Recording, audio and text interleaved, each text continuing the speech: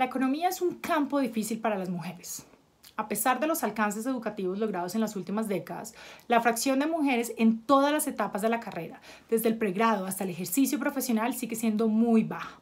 Cerca del 30-35% de estudiantes en las carreras de economía son mujeres y se encuentra un porcentaje similar de profesoras en las facultades del país.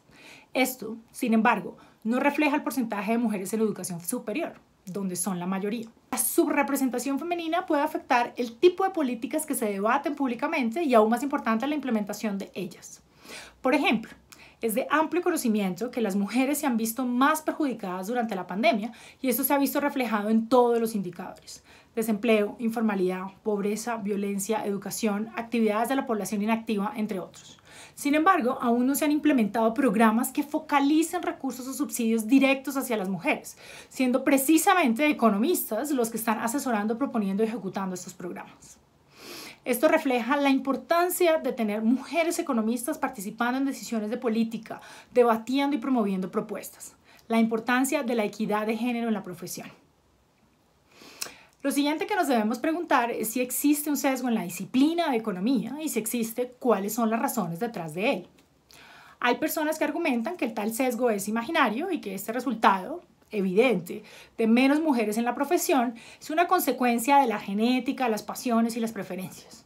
Hay menos mujeres economistas porque menos mujeres están interesadas en estudiarla. Y punto. Sin embargo, esta baja cifra sí puede ser la consecuencia de un sesgo, resultado de una combinación de diferentes factores que lo alimentan y perpetúan. Primero, existen estereotipos implícitos de género que se arrastran desde el colegio. Dentro de estos está la creencia de que las mujeres son peores que los hombres para los números. Evidencia en colegio muestra que maestros con fuertes estereotipos de género tienen un impacto negativo sobre las niñas. En clases con estos maestros, las brechas de género en exámenes de matemáticas se triplican porque las niñas tienen un rendimiento más bajo, mientras que el de los niños no cambia. Igualmente, en estas clases las niñas tienden a perder su autoconfianza en matemáticas. Segundo, la carrera de economía puede ampliar los sesgos. La baja fracción de estudiantes mujeres puede facilitar que estos se alimenten. Adicionalmente, trabajos recientes sugieren que estar expuestos a modelos a seguir femeninos reducen los sesgos y estos claramente se ven afectados si estudiantes tienen un menor número de profesoras, como en nuestra profesión.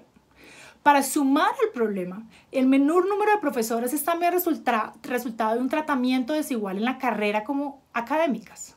Aquí la evidencia es mucho más robusta, mucho más sólida. Condicional a su productividad, es menos probable que las mujeres sean ascendidas en sus trabajos, reciban menos créditos por coautorías, sus publicaciones en las mejores revistas pasan por un proceso más largo, se enfrentan a una hostilidad más fuerte en los foros virtuales anónimos que tienen propósitos académicos y profesionales y en seminarios de economía reciben más preguntas y estas son más agresivas. Estos sesgos en el ejercicio de la profesión se han hecho aún más visibles en los espacios de participación. Nosotros no estamos pidiendo que nos escuchen por el simple hecho de ser mujeres. Sí, somos menos en cantidad, pero en Colombia hay mujeres expertas en los diferentes campos de la economía que no se están invitando al debate y no se están visibilizando.